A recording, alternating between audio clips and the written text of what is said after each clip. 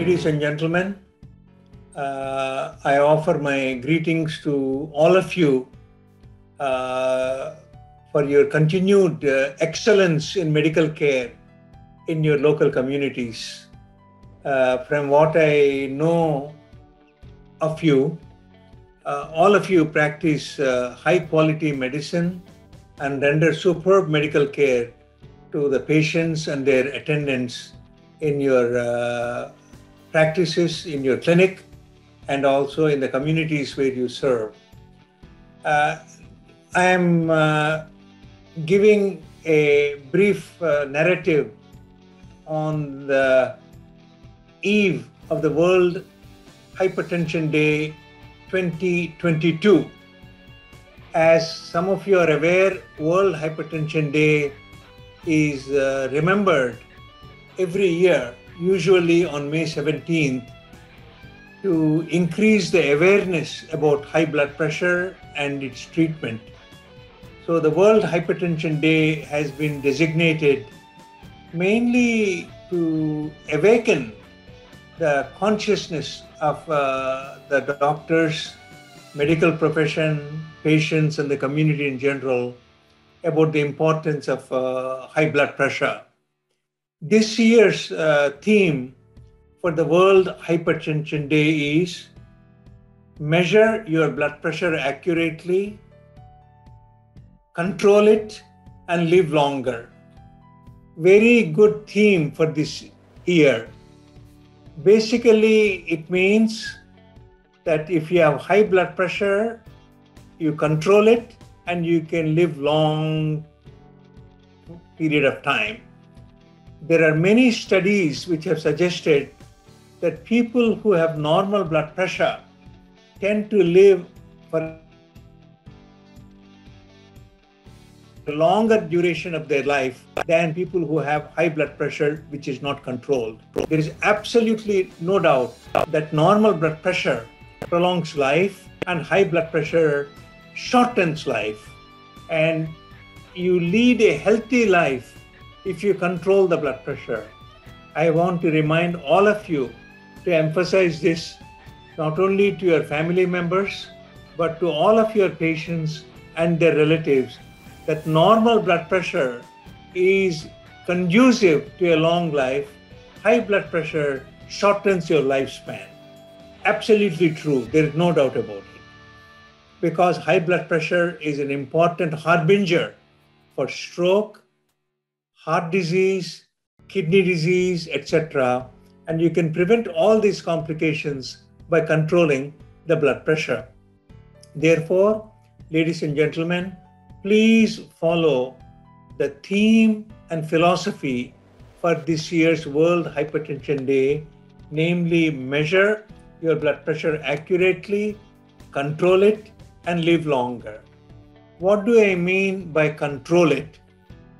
The new goal for blood pressure treatment is less than 130 by 80. The older goal used to be 140 by 90, but please forget about 140 by 90 because 140 by 90 is high blood pressure, not normal blood pressure.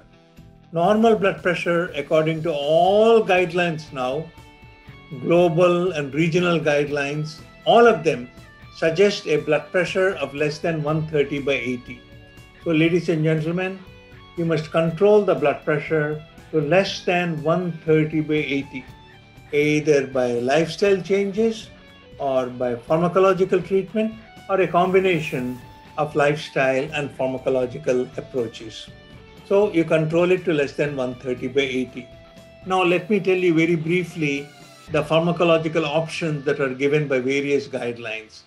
All guidelines recommend, if possible, to start the patient on combination therapy.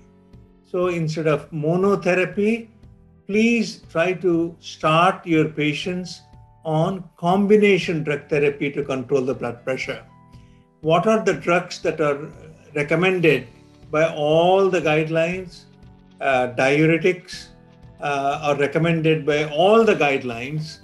Beta blockers are not recommended for the initial treatment by American guidelines, but they are uh, they're endorsed by European guidelines and uh, World Health Organization guidelines and International Society of Hypertension guidelines.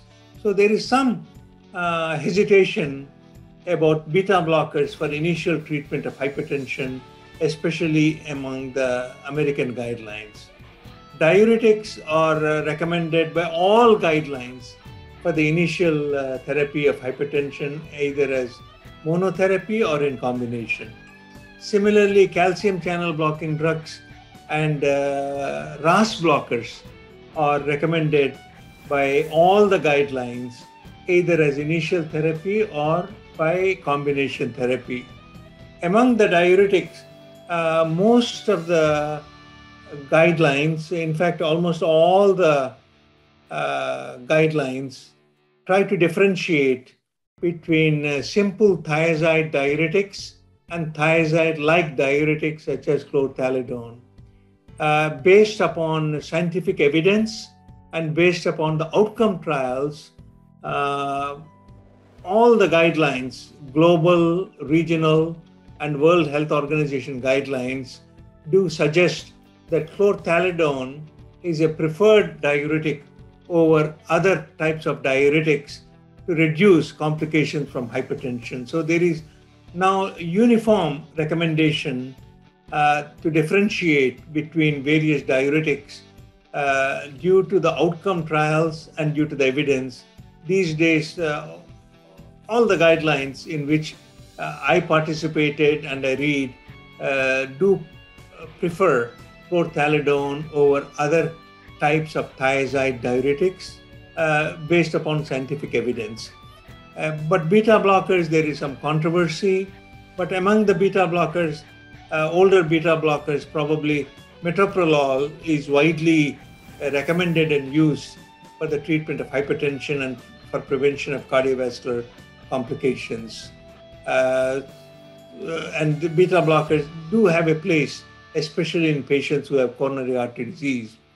Uh, calcium channel blocking drugs, uh, older and new generation calcium blocking drugs, there is a renewed interest, especially in India, about applying new generation calcium blocking drugs to lower the blood pressure because the new generation calcium blocking drugs uh, reduce the blood pressure very, very nicely, but they also provide freedom from side effects.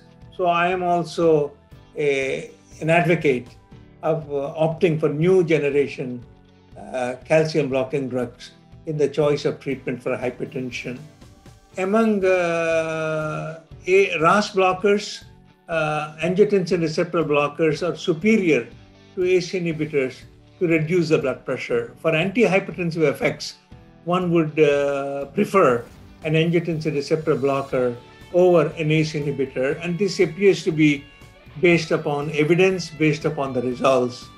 Among the angiotensin receptor blocking drugs that are available, uh, there are new generation ARBs and old generation ARBs. Despite uh, the new generation of ARBs that are available, uh, telmisartan belonging to an older uh, generation is still very prominent among ARBs because there is a lot of evidence that telmisartan based therapy reduces the blood pressure effectively and prevents a, a variety of cardiovascular complications. Of course, the new generation ARBs are also quite effective, but we don't have uh, as many outcome studies that we have with telmisartan. Uh, uh, therefore, uh, tel- telmisartan continues to be a leader among the ARB choices for the treatment of hypertension in various countries, including India. So, ladies and gentlemen, in a short time, that uh, we have. I have given you the theme of this year's World Hypertension League, World Hypertension Day, namely measure your blood pressure accurately. And I also talked about controlling it with lifestyle changes and with pharmacological treatment to your blood pressure less than 130 by 80. And I talked very briefly about the therapeutic options we have, either as monotherapy or as combination therapy to reduce the blood pressure quite effectively in your practices so that you prolong the lives of your patients and their families by reducing the blood pressure to the recommended goals with optimal utilization of combination therapy that is so widely and easily available in clinical practice. So, ladies and gentlemen, let us work together, work harder, uh, as hard as we can to diagnose hypertension early, to treat it effectively, to control it, so that we have uh, citizens of India living for a longer period of time and be healthy and uh, happy, productive citizens of our great country. All the best to you and uh, to your continued excellence in clinical practice. Thank you.